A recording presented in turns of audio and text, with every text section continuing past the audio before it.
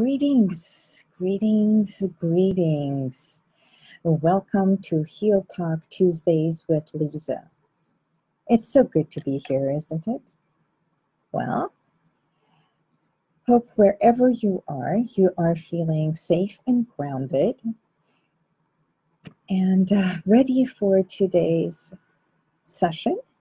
And uh, today we're going to be talking about misconceptions so, what is misconceptions? What am I doing, talking about today?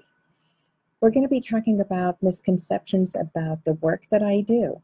And for those of you who do not know me, uh, by trade, I'm a clinical hypnotherapist, stress management consultant. Have a healing center here in Glendale, California called Heal Within. And how I got to heal within is truly because I believe I healed myself. And what better way to help others heal within? Hmm.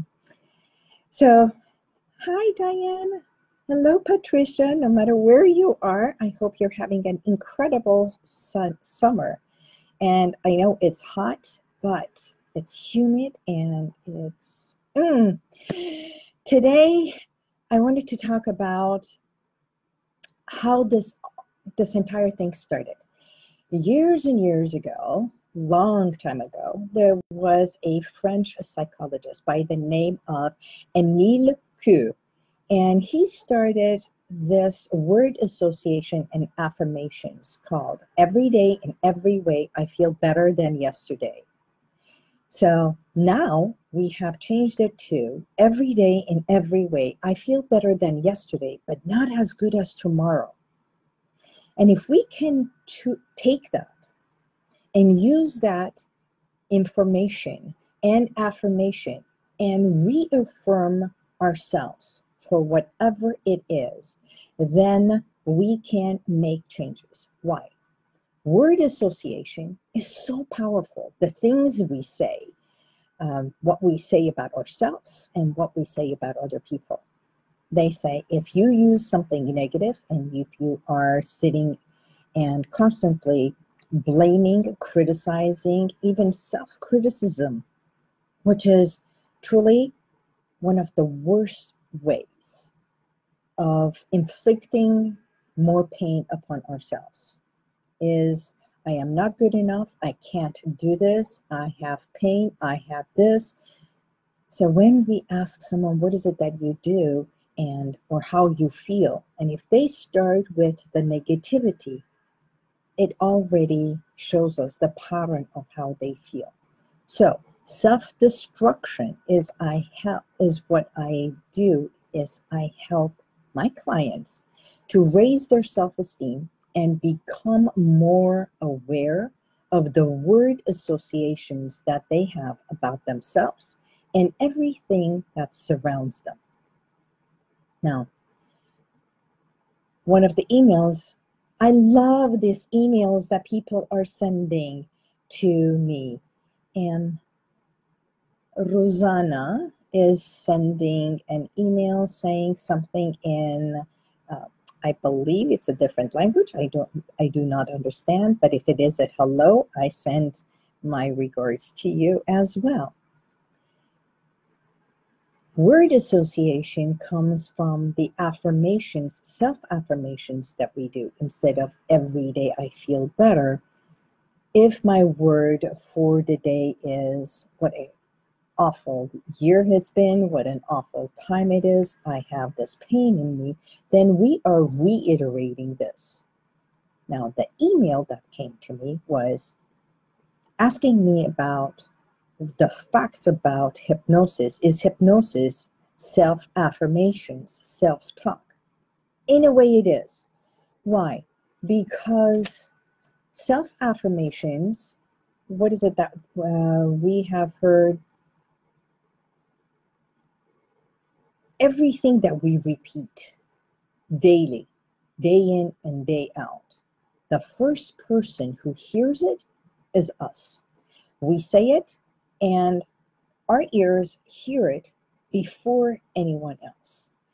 Our body embeds that information. Every time we roll into that negativity, automatically we go into that.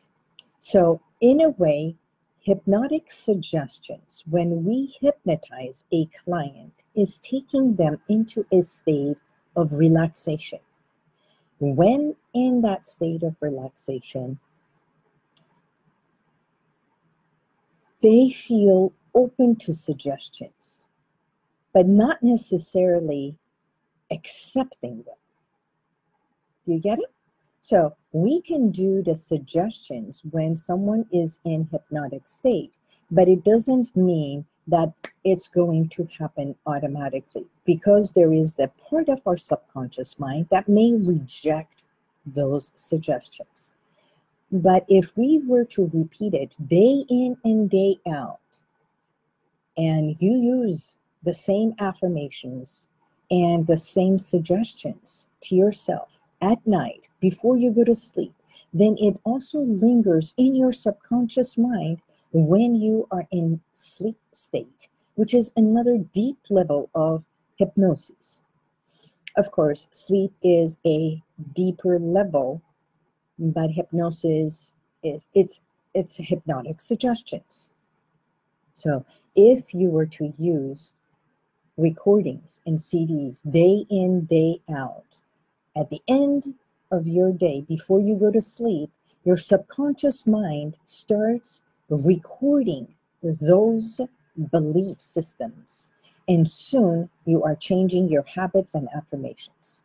Let me give you an example. So, for a person who comes in to break a habit of stop smoking and they want to become a non smoker, suggestions incorporated during the session is very powerful. At night, they repeat or they listen to the hypnotic suggestions, the CD or the recording that I give them. And while they're listening to that, they go to sleep. Now, the part of the therapy is finding the causation of why they started the smoking. But again, if you were to continue listening to any suggestions day in, day out, that will also help you. Another misconception about hypnosis is it is a cure. It is not a cure. It may help you stop smoking, stop a habit or a behavior, but it's not a cure. So the same thing goes for any kind of a disease. If you were in hypnosis, will you be able to stand up or stop or can you stop the session at any time? Yes, you can. Because when you are in hypnosis, you are not asleep. You hear everything. And if there is any part that is uncomfortable, you easily can open your eyes. So if there is a misconception that you are out of control, that is not true because at all times you're in full control. So another fact is that is when you are another fallacy is that you are apt to do anything good or bad during hypnosis. That someone has the hypnotist or the hypnotherapist has control over you.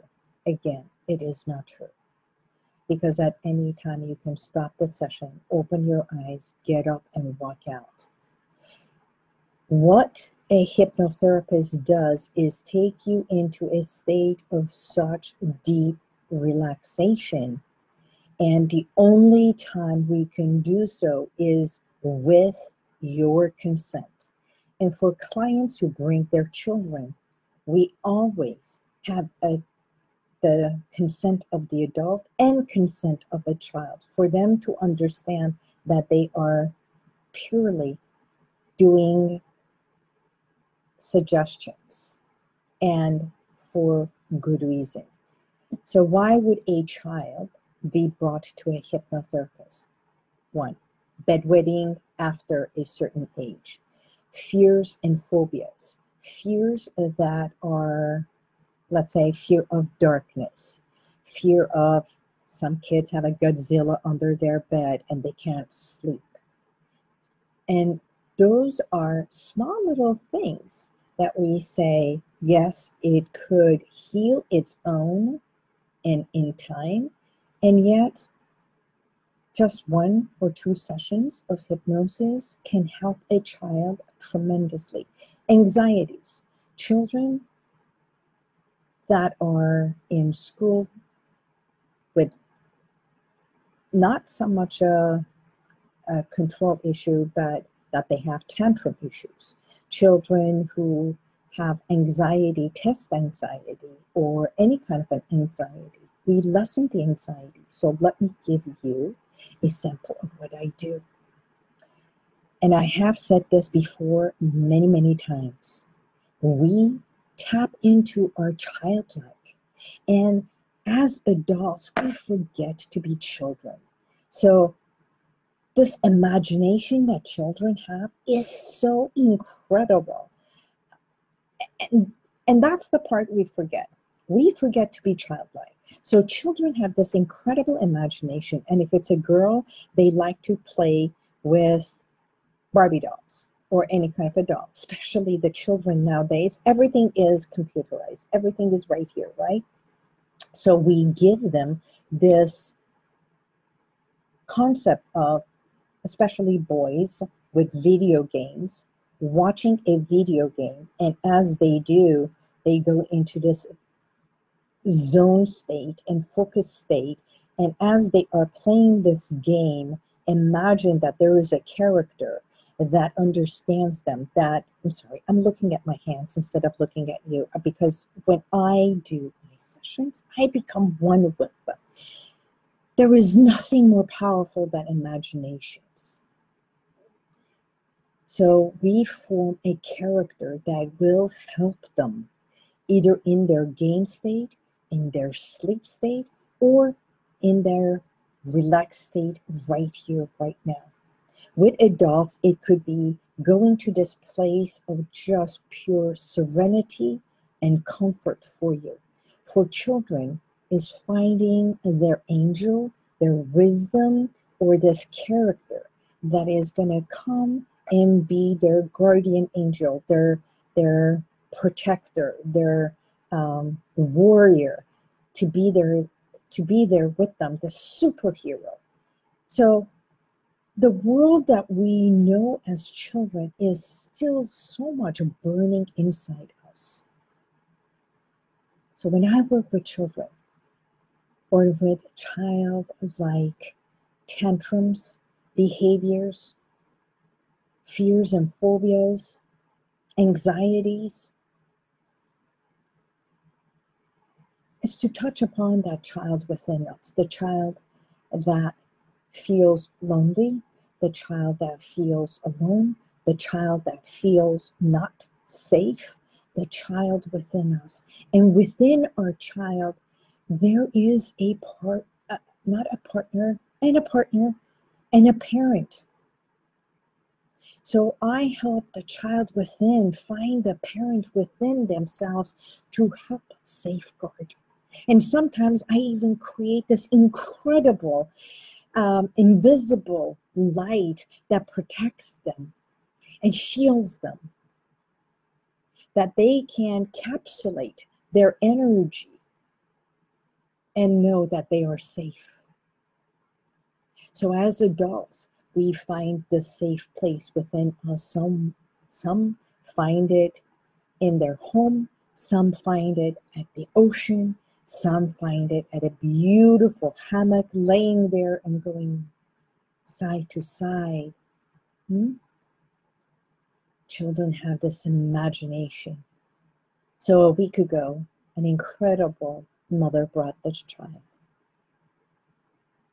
And this 11 year old thought that he was not as loved as his brother, older brother.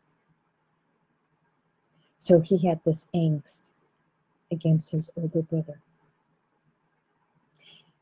But in a state of relaxation and working with him, when he revealed that, we also help bring this wise, incredible being that is always there to protect him and shift the mindset that mom and dad love him and each one is worthy of so much more. And for him to remember how much he is loved at so many different scenarios and times, and how much his brother loves him, and how much he loves his brother.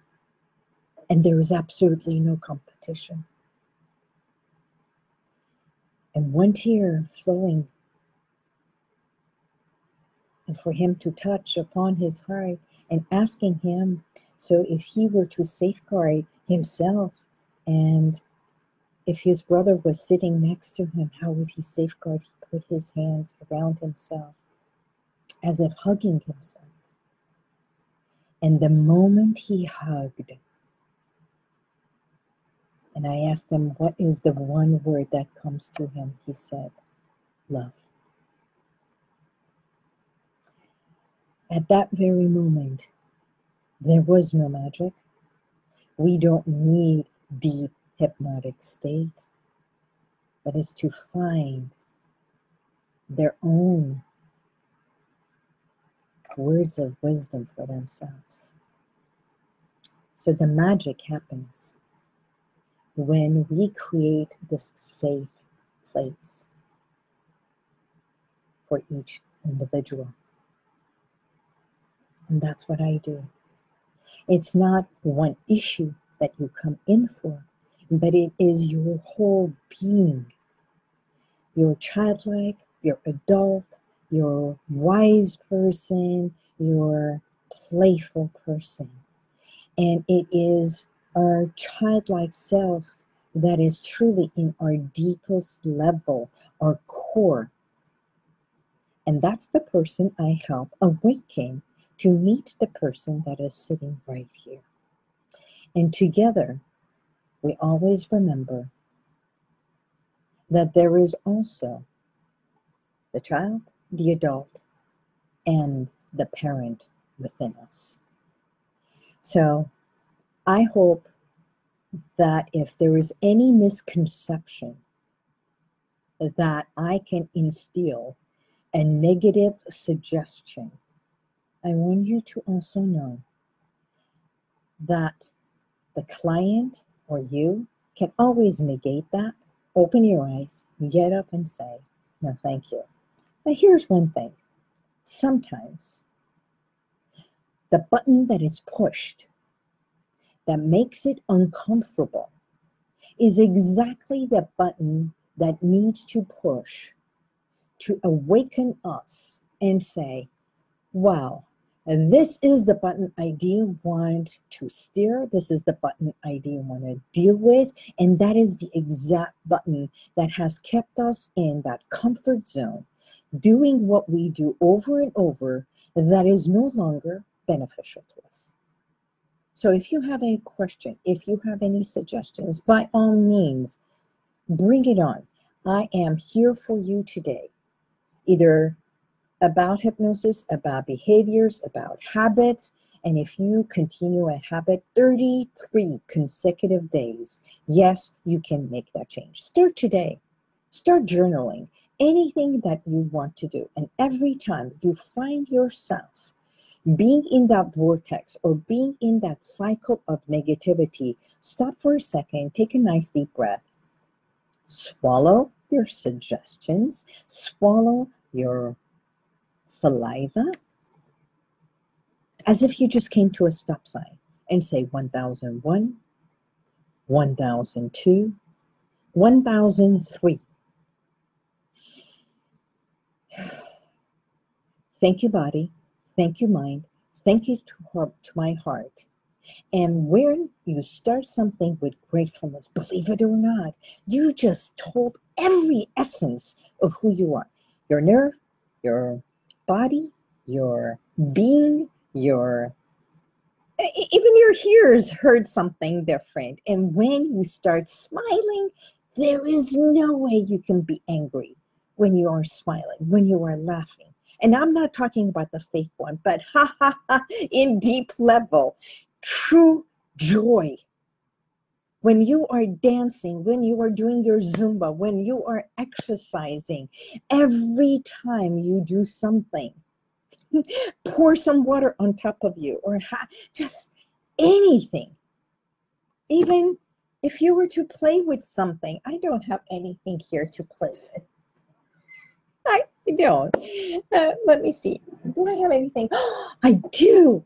I do. My favorite game, and I play, and I show this. It's incredible. It just came to me. Mm-hmm. Today, I am on this uh, beautiful. Hello, Frida. Hi, Kelly. Becky. Um, hi, Robert. The biggest play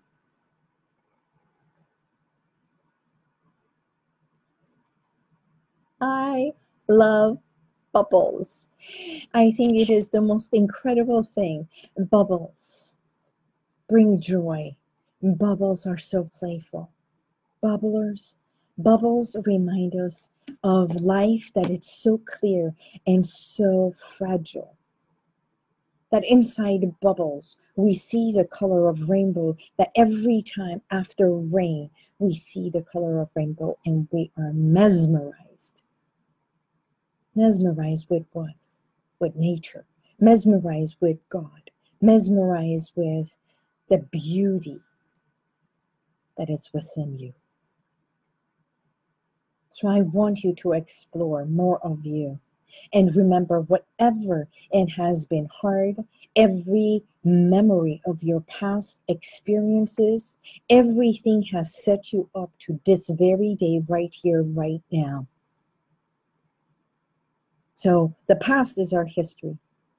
And if you are ready to make that change within you today, you can start a whole new story. With that, I want to say thank you for being here. My name is Liza Boubari, and I am here to help you heal within because you matter. So let us evoke what was, embrace what is, the reality, your true self, good, bad, right, wrong, up, down, it doesn't matter. And let us evolve to what it is that we want to be. Transforming lives starts with you. God bless you. May the universal light be with you. And I'll see you next week and I'm always here to answer any and all call. You can find me at healwithin.com. Please sign up. And by the way, did you know that every single episode for the last year and a half, it is on YouTube and you can find me, Liza Boubari or Heal Within. Thank you. Until next week.